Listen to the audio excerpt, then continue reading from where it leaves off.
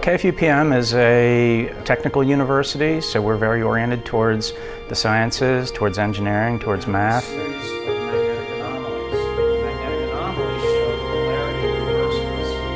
KFUPM uh, basically brought geology, geophysics, and petroleum engineering, three academic programs, into one college, uh, the College of Petroleum Engineering and Geosciences. Where I come from in, in, in Holland, petroleum engineering and geology are two separate faculties, even two different cities.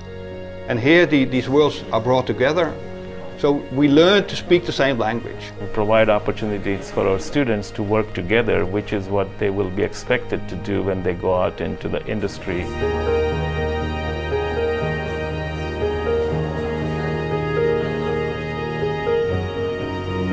I see KFUPM as my family. This is the way we operate here. We work together, we help each other out. Um, and enthusiasm, especially with the new college.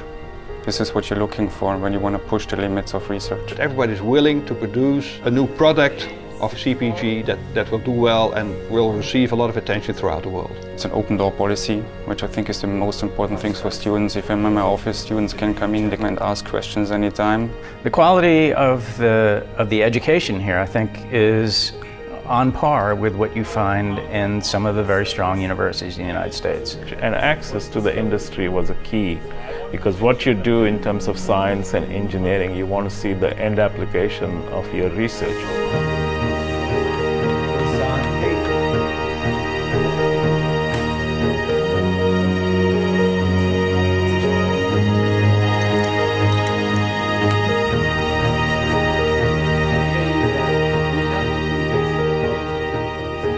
Majority of our graduate students are from elsewhere. Okay, we have Saudi students, but we also have students from Indonesia, from Egypt, from Sudan, from Europe. They look at quality, they don't look at nationality. Because when you interact with other cultures, other lines of thinking, other educational levels, things will improve. So they're open for everybody as long as the quality, that, that that's the main thing they're going to focus on. The quality is good, that enters the college. Saudi Arabia has set the right path, I think, um, Vision 2030. The kingdom has made strong advances in science and technology through various initiatives, and our college is a classic example of that. I know geology very, very well, and I love to share that knowledge. I try to work very, very tightly with students on a personal level, and we are equals. I think that's the most important thing here. And I love to see students get excited about my science. I love to see students get it.